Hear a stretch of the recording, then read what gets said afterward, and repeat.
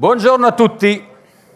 Allora, quando mi ha chiamato Virginia per dirmi che dovevo, mi ha chiesto di fare questo intervento, mi ha detto ti farò fare l'intervento subito dopo pranzo, quindi tienimeli svegli.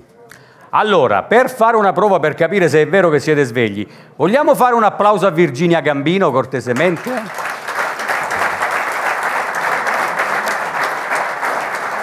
E già, e già, io io sono sicuro però che siccome qua si è parlato di migliorare, no? Federico della Puppa ha parlato nelle ultime slide, bravissimo, del miglioramento. Vogliamo farlo, vogliamo migliorarlo questo applauso? Un applauso a Virginia Gambino! Adesso sì.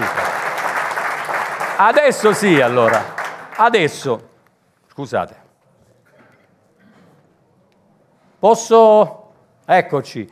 Allora, Intanto grazie davvero a Virginia per avermi invitato e grazie a tutti quanti voi che nonostante il pranzo siete qua per cercare di non addormentarvi. Vediamo se ci riuscirò a non farvi addormentare.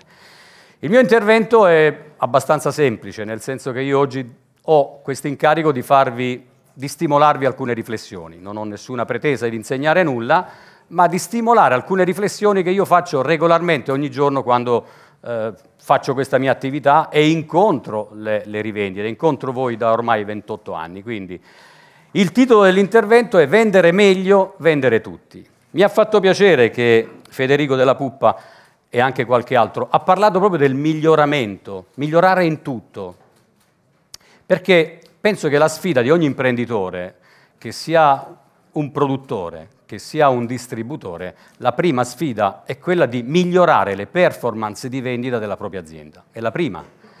E vale per chi ha delle buone performance di vendita e vale anche per chi ha delle eccellenti performance di vendita. Tutti possono e devono migliorare.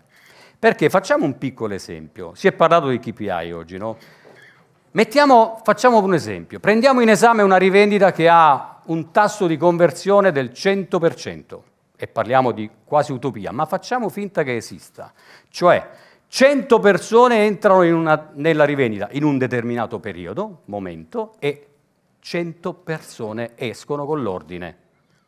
Cioè, sarebbe eccellente. Qualcuno potrebbe dire cosa vuoi migliorare ancora? Eppure io sono convinto che si può e si deve migliorare.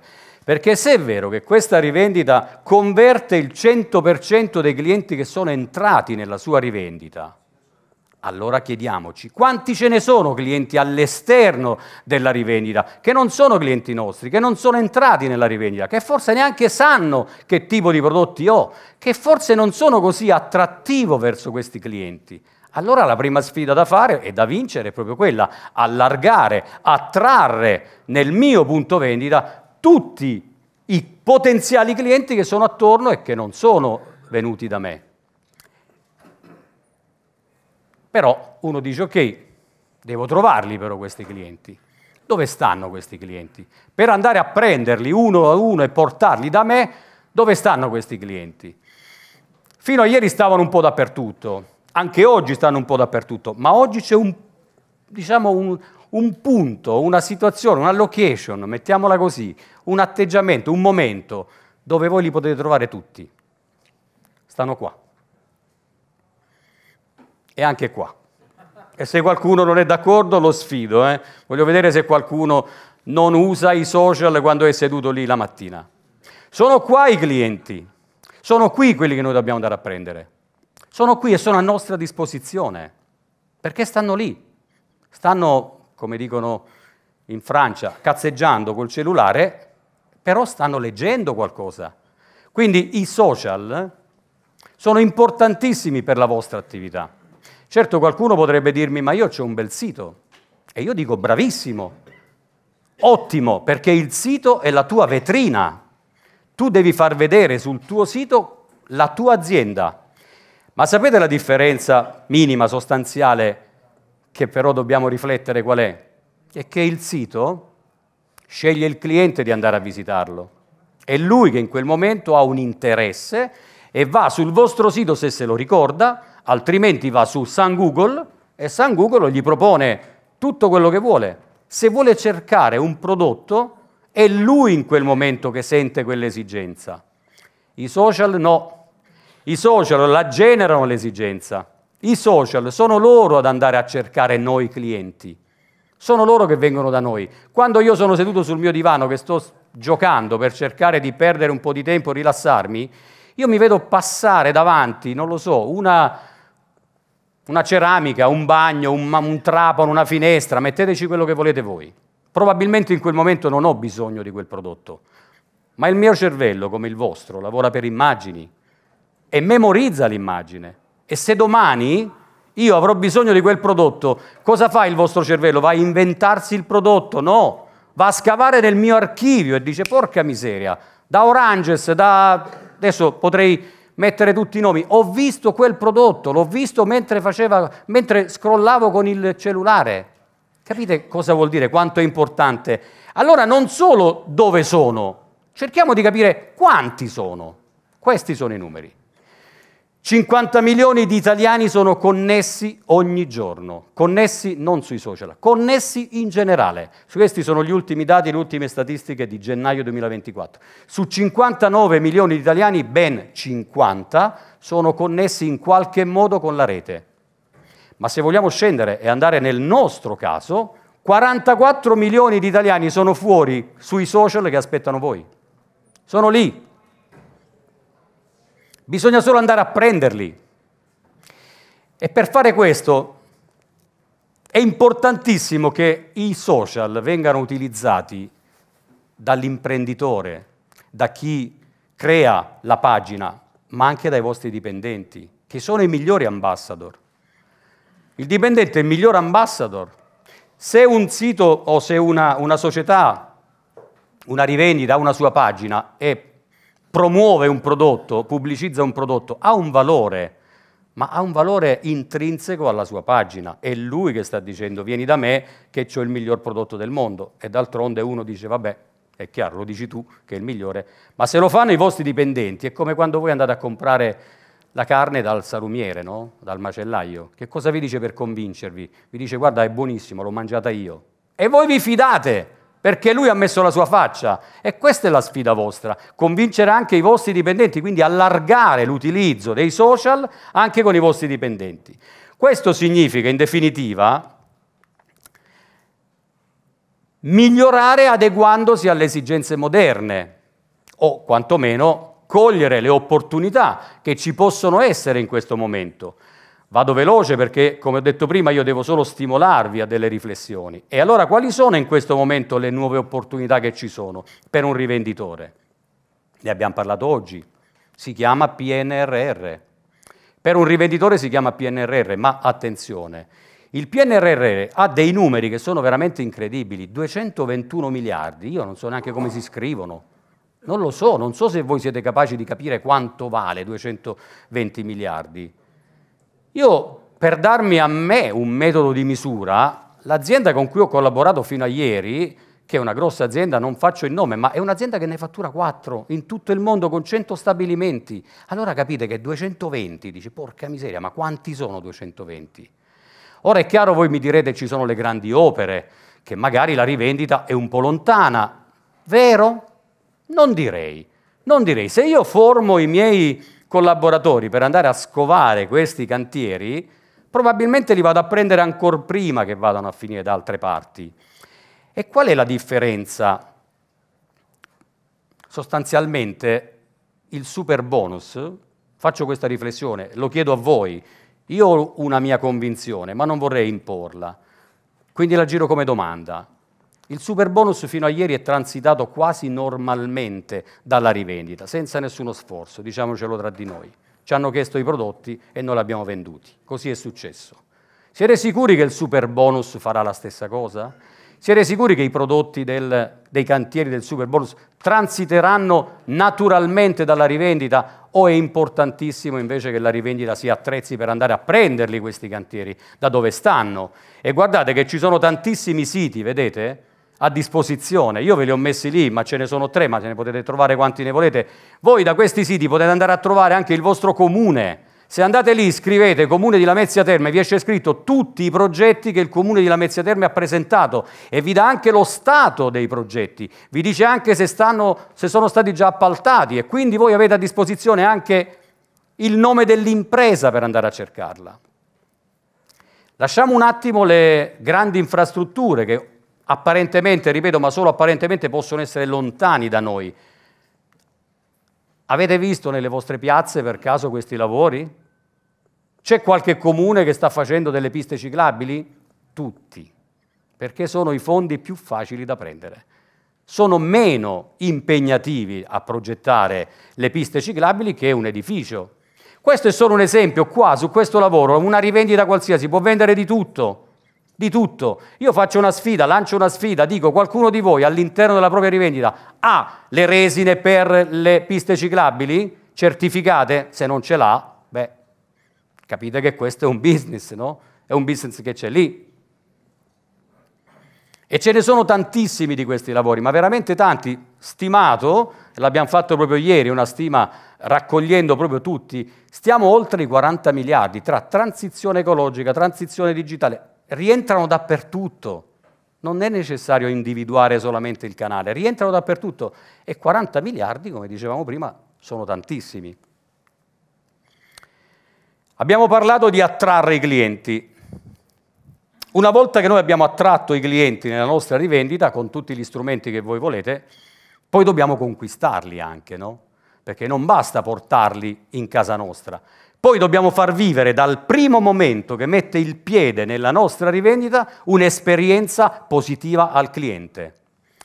E allora sapete qual è la prima leva da utilizzare per far vivere un'esperienza, per creare un rapport con il cliente immediato, proprio il primo, proprio la prima cosa da fare? Beh, oggi si è parlato molto di sostenibilità, se ne sta parlando di sostenibilità, di risparmio delle risorse del pianeta. Sapete qual è la risorsa inesauribile su tutto il pianeta? Non solo è inesauribile, ma più ne producete di questa risorsa e più se ne alimenta. Più ne consumate e più ne producete. È questo. È il sorriso.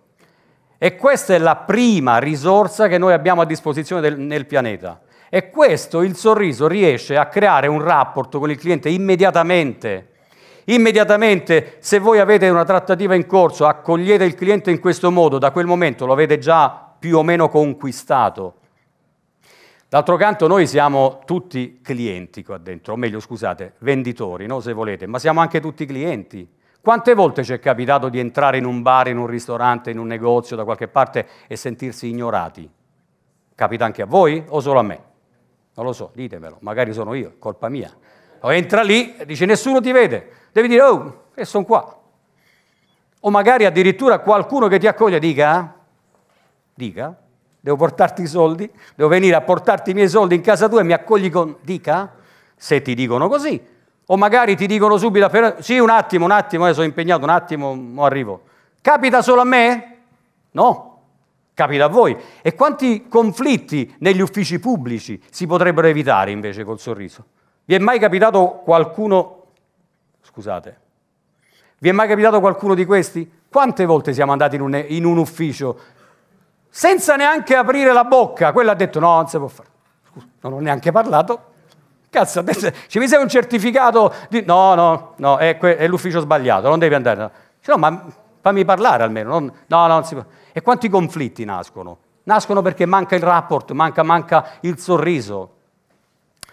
Ora, sicuramente ognuno di voi si starà chiedendo, ma basta il sorriso per concludere una vendita? Ovviamente la risposta è no. Però il sorriso è importante per aprire una trattativa. Guardate, pensate un attimo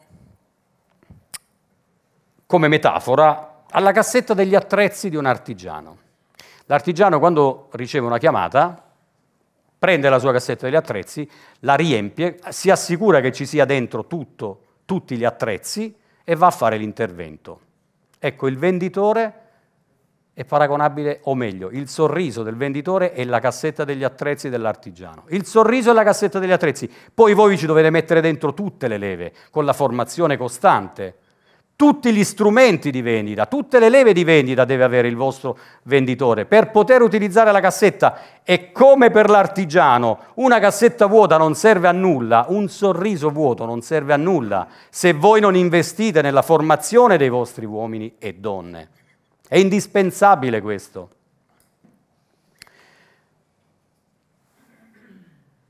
Parliamo della prima leva di vendita, non abbiamo il tempo per enunciarle tutte. Quanti strumenti di vendita ci sono? Beh, ce n'è una che è la più importante, quella. Ascoltare il cliente. Non parlare, non me ne frega niente di quello che hai tu. Io voglio sapere quello che hai per me. Non mi interessa che tu mi fai vedere tutta la tua sala mostra e poi dopo, solo dopo andiamo a sederci e parliamo. E scopriamo che tutto quello che mi hai fatto vedere, eh, non avevo capito che volevi questo. E me lo chiedevi prima, magari evitavamo di su questo vi racconto un piccolo aneddoto. Qualche tempo fa io e la mia compagna dovevamo fare un regalo a un nostro amico che faceva 50 anni. Siamo andati in un negozio, io sono di Lecce, siamo andati in un centro a Lecce, in un negozio di pelletteria e di articoli anche tecnologici. Il venditore ci ha accolti, mm, non mi ricordo neanche come, e ha detto prego, cosa avete bisogno? Dobbiamo fare un regalo, però non sappiamo, non abbiamo un'idea. Sarà capitato anche a voi. Se mi aiuti, magari riesco a trovare.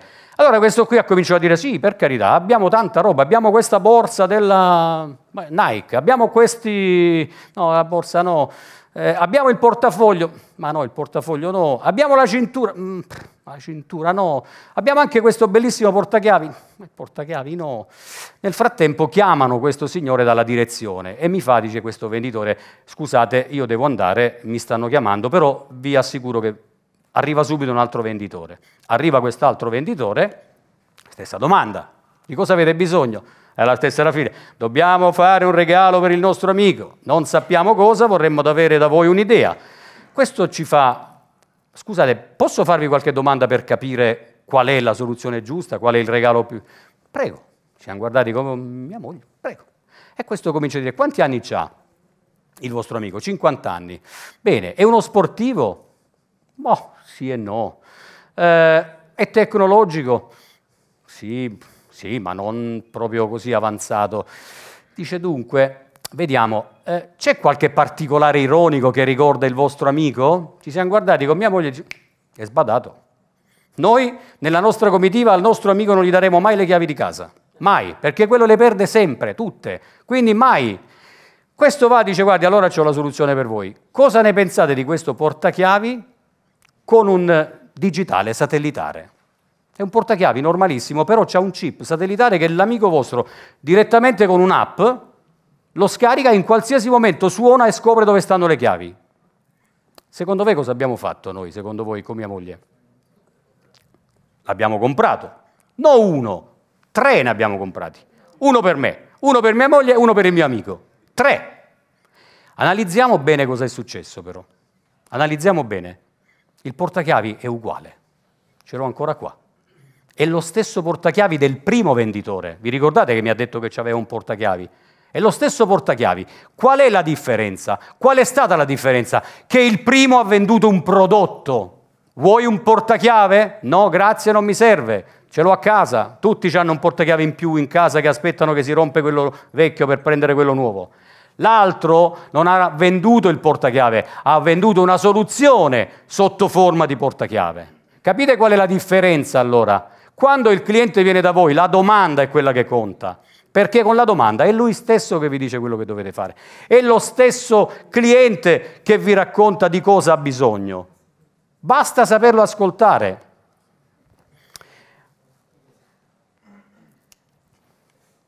Mi avvio, eh? Giuro che mi avvio alla conclusione. La seconda parte dell'intervento è vendere tutti.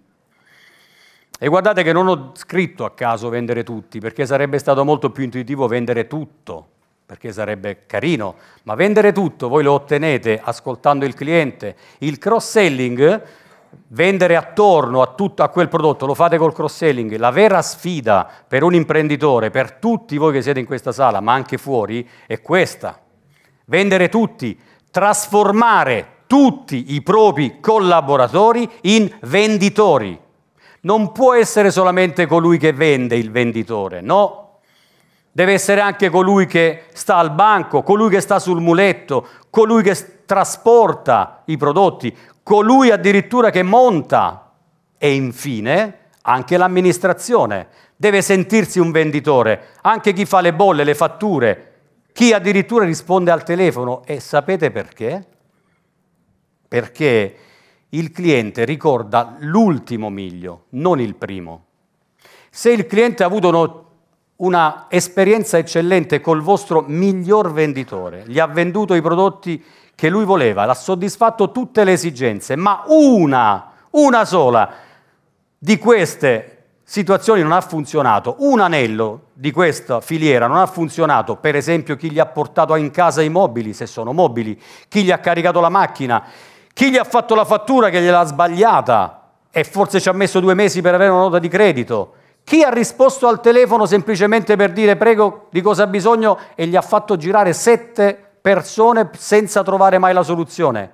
Allora capite bene che quel cliente non ricorda il bravo venditore, ma ricorda l'ultimo miglio e sapete cosa dirà? Dirà, quel negozio è eccellente, per vendere sono bravissimi, peccato che poi per avere una risposta devi stare altri tre mesi. È questo che voi non dovete correre il rischio. Ecco perché noi dobbiamo trasformare tutti i nostri dipendenti in veri venditori, tutti tutti devono sentirsi parte integrante della vendita, perché l'ultimo miglio, ripeto, è quello che ricorda il cliente. E oggi voi sapete che ci sono tantissime, dal, dal Covid in poi, nessuno di noi compra qualcosa se prima non è andato a vedere le recensioni. Qualsiasi cosa. Anche se siete nel negozio, lo faccio io. Se sono nel negozio e mi piace un prodotto, cosa faccio? Vado sulle recensioni di Amazon per vedere se è buono questo prodotto, se hanno detto che va bene allora capite bene che per voi è molto importante poter avere una recensione non del bravo venditore, ma dell'azienda. L'azienda ha soddisfatto tutte le esigenze, compreso la fattura sbagliata, compreso lo specchio rotto, compreso tutto, compreso il reso, compreso tutto. Perché chiudo con una slide che mi ha, mi ha, fatto molto piacere, i nostri amici polacchi l'hanno utilizzata e giuro che l'avevo già preparata, quindi non è che l'ho copiata. Eh. Vi lascio così.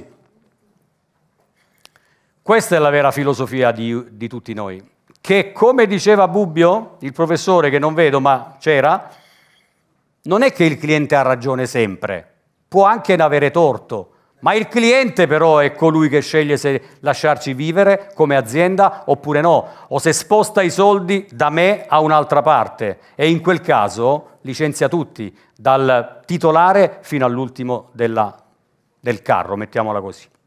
Grazie mille per l'intervento.